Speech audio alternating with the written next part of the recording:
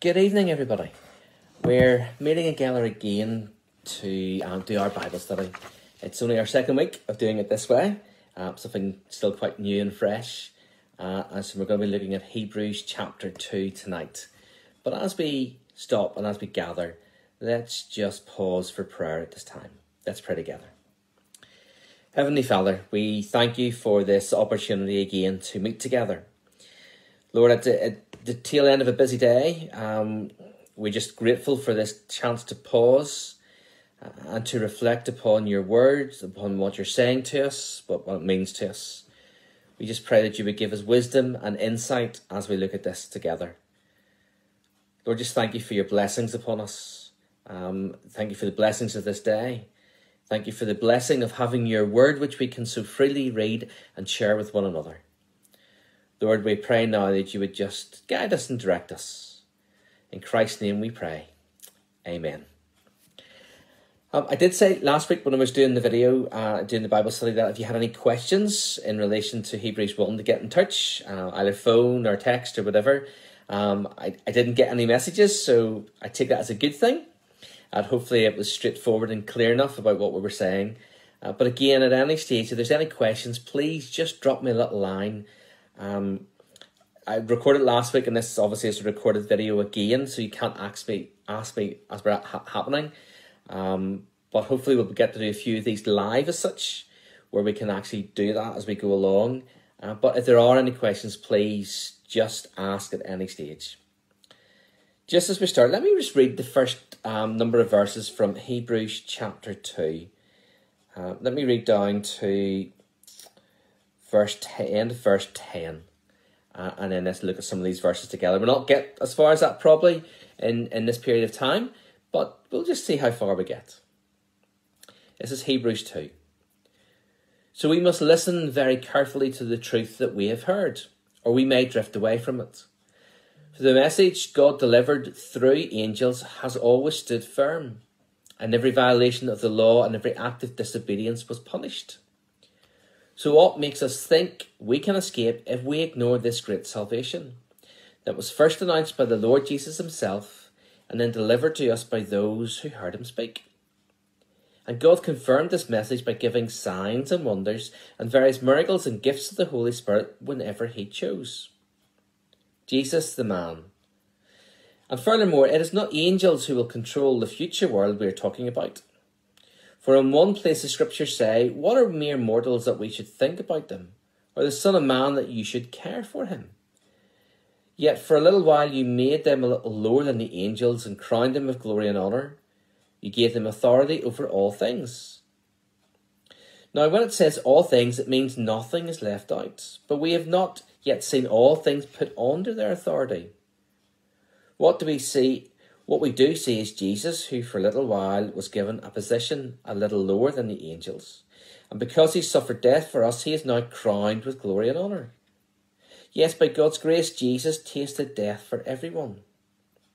God, for whom and through whom everything was made, chose to bring many children into glory. And it is only right that he should make Jesus, through his suffering, a perfect leader, fit to bring them into their salvation. Amen. That's the end of verse 10. Hebrews 1 very much sets out who Jesus is and gave us the evidence that Jesus is the Son of God, that he is exactly who God promised the Messiah. The reason for doing that probably was because the writer was reading was the writer was sending his letter to Jews um, who obviously a lot of them didn't believe Jesus as Messiah, but reaffirming that, just reminding them, those who have turned to uh, Christianity, that Jesus is the Messiah. And you need to get a reflection of that now in this first verse. We must listen carefully to the truth we have heard, or we may drift away from it. Maybe some of them were wavering, maybe some of them were starting to drift back to the old ways um, of the Jewish law. Maybe some of them were starting to, to wonder and doubt uh, uh, maybe somebody had been sowing seeds of doubts in their head. Somebody was trying to to change the word and corrupt it for their own means, uh, because they thought, which a lot of Jews did, that that Jesus was and the, and the disciples were corrupting the Jewish people. They didn't see it as a promise. So maybe that's what was going on here. Maybe that's why in this verse um, he says, Listen carefully so we may not drift away from what the truth is the truth of Jesus being Messiah. He goes on to say, For the message God delivered through angels has always stood firm. Now you wonder maybe what was the message that God delivered through the angels? Well, when you think about the Old Testament and the Old Testament being written, and as you think what is written in the New Testament about God's words, um, the new, the um, King James version would have said all Scripture is given by inspiration. A modern translation would say all Scripture is God breathed or breathed out for God or spoken out from God. It, it's that sense that God gave what was written to the people to write so that this message of God delivered through angels, uh, it's saying that the angels were were prompting, were showing the people what to write. So that it's the message of God delivered by angels. So the Old Testament is God's word. And what is written by the, the Old Testament in the, in the books of law and prophets and the Psalms and everything else that goes on there, it, it is God's word. It's not man's word, it's God's word and it's delivered through angels. So how how people are prompted to write. And it says about every violation of the law and every act of disobedience was punished. That's true. You mean very much the Old Testament, you see punishment, you see law, you, you see them being set down as a standard. Um, and that's why sometimes people think about the Old and New Testament being very separate. The Old Testament is about punishment, about law. The New Testament is about uh, forgiveness. But when you actually read the New Testament as well, it, yes, forgiveness is there. The means of forgiveness is there through Jesus, um, through through what we call God's grace being poured out through the cross. But at the same time, there's still punishment. There's still judgment. You just get to the end of get the end of New Testament, read Revelations, um, and, and you see that. But even look at what is written in the New Testament: the wages of sin is death, but the gift of God is eternal life through Jesus Christ our Lord you know, it, the New Testament doesn't say that there's not there's not punishment. It, it, it undermines, in fact, the punishment. But the New Testament shows us where that hope is. But that hope is also in the Old Testament. So they are they are linked so much. So the message of God, delivered through the angels, who stood firm about law. So what makes us think that we can escape if we ignore this great salvation that was first announced through the Lord Jesus himself and then delivered to us by those who heard him speak. You know, it's it's a case of yeah, hang on here a minute, folks. Do, do you really think that this doesn't apply to you? Do you really think that what the Old Testament says about the punishment, but then about he was bruised for our transgression, by, by his wounds we are healed? We all, like sheep, have gone astray. We've turned everyone to, to his own way, and the Lord has laid on him the iniquity of us all. When you think of what is written in the Old Testament, do you think that you can ignore that? Do you think that you can just follow the old ways of, of doing sacrifices and everything will be fine? No, you need to look at the fulfillment of those prophecies. You need to look at the fulfillment of what God said. And, and that's what comes through here. It was announced by Jesus Christ himself. Jesus talks about the coming of God's kingdom and how it starts off as small as the mustard seed but will grow. Jesus' coming was that mustard seed. Jesus was that kingdom being seen and the means of salvation. And then how we are saved. And it says that Jesus announced it himself, first of all, which he did and then delivered to us uh, by those who heard him speak. Look at the uh, the New Testament, Matthew, Mark, Luke, and John. Those who heard Jesus speak and who have written it down. It was recorded for us. And that's what God is saying through this passage. And then it goes on to say, and God confirmed the message by giving signs and wonders and various miracles and the gifts of the Holy Spirit whenever he chose. Look at the signs and the wonders and the miracles that Jesus performed. Look at how in the, the disciples continue that and what they do. Uh, look at the gifting which is given, and those gifts are with us today still. And through those gifts, we see how God cares for us and how God loves us, and we share the message of God's love. Unfortunately, in this world, we quite often, and people quite often close their eyes to what they see around them. They like to rationalize it uh, and they like to be able to explain it all, but you can't. That's why they're called signs and wonders and various miracles. We can't explain them. They are something which is extraordinary. And it's, it's choosing to accept them and choosing to accept where they've come from.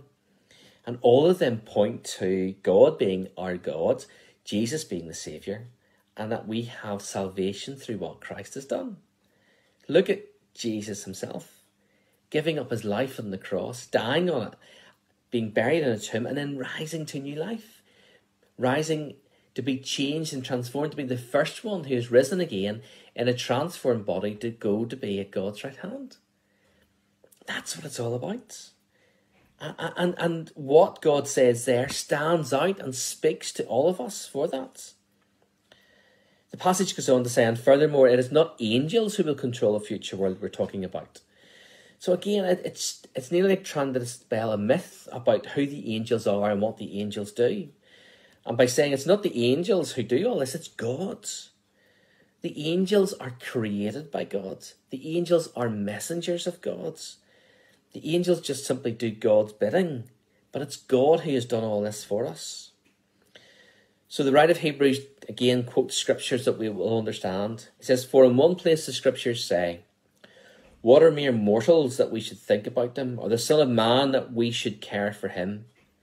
Yet for a little while you were made lower than the angels and crowned with glory and honour. You gave them authority over all things. And that's a quote taken from Psalm 8, verses 4 to 6. Talking about us as beings, as, as people, how we created a little lower than the angels, and how we were, were given authority over things on earth. All you've got to do is look back to Genesis and reflect upon what God says in Genesis about how we are to look after his creation, how we are to care for it and be there for it. And how you know Adam was was to name the animals and, and to, to give them that, that role. And then it goes on to say, now when it says all things, it means nothing is left out. But we've not yet seen all things put under their authority. Uh, what we do see is Jesus, for a little while, who's given a position a little lower than the angels because he suffered death for us. He's now crowned with glory and honour when you think about the world that we live in, I'm saying about all things being under our authority, um, that's the way God wanted things to be, but unfortunately, we sinned. Unfortunately, we turned our back on God. Um, unfortunately, Adam and Eve listened to Satan, and hence Satan gets called the prince of this world. And we see Satan as having power and authority in this world. If you think of how he tempted Jesus, if you think about um, how he said to Jesus, if you'll bow down and worship me, I'll give you all that you see. Uh, and Jesus rejecting that, obviously, and, and turning away from it. But it's recognizing that in this world that we live, because of sin and corruption, yes, Satan does have power. Satan does have authority.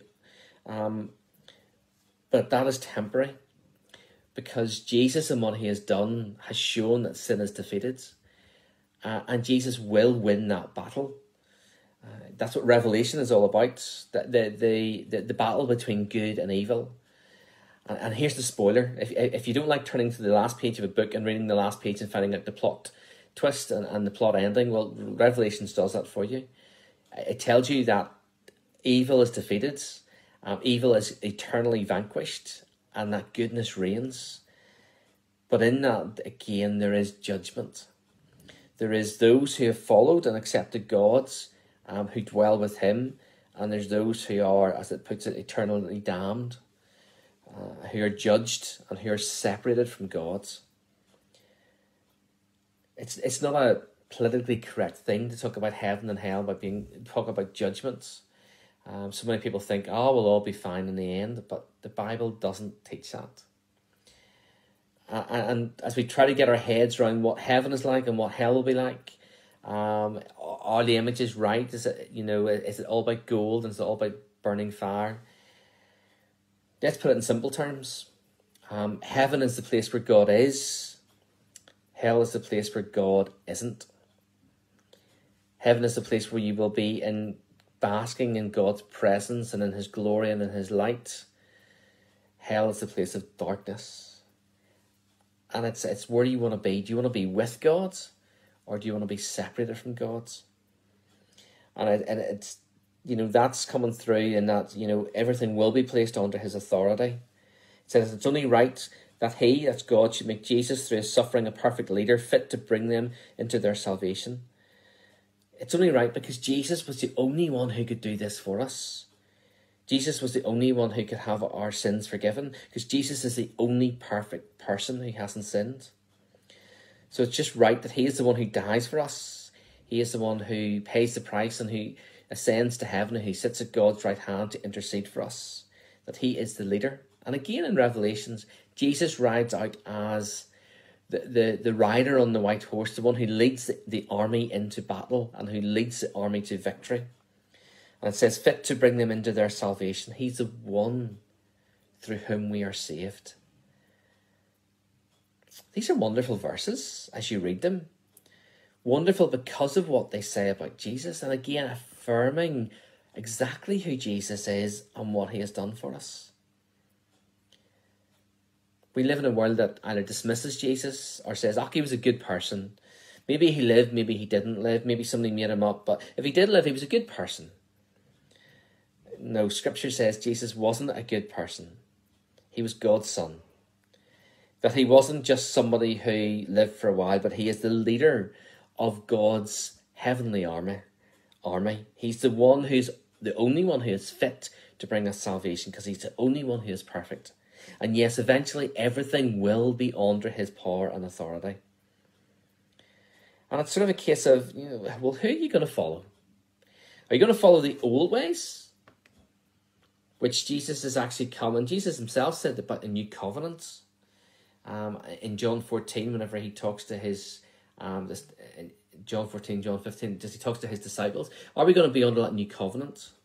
Are we going to be under the old covenant? Are we going to think of following the old ways? and not following Christ.